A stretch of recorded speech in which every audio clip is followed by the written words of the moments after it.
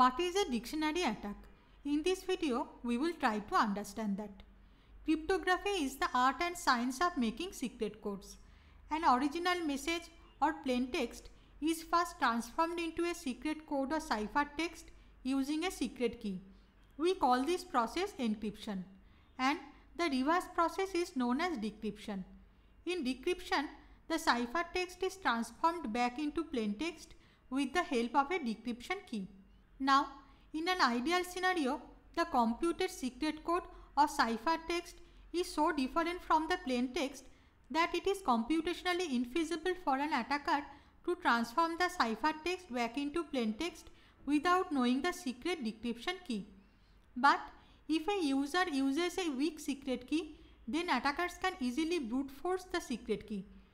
In other words, the attacker can try all combinations of characters one by one and derive the secret key.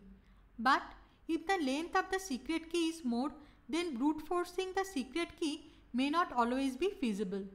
Attackers often perpetrate attacks like a dictionary attack in that case to derive the secret key. Let's say a user has kept a dictionary word as a secret key. So, in that case, the attacker does not need to try out all possible combinations of characters as the secret key. The attackers can try all words in a dictionary one by one and deduce the secret key. We call such an attack a dictionary attack. How to prevent dictionary attacks on passwords? In a real life scenario, we take several steps to prevent dictionary attacks on passwords. For example, we do not store hashed values of passwords in the database as it is.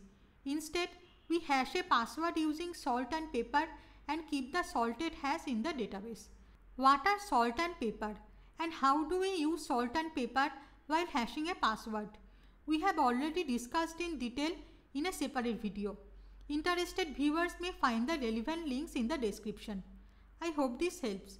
Interested viewers who want to know more, please refer to the book Cryptography and Public Key Infrastructure or visit the website of the Security Buddy. The relevant links are provided in the description. The Security Buddy also provides many cybersecurity courses. The relevant links are provided in the description. You can also subscribe to us and get notifications on recent videos.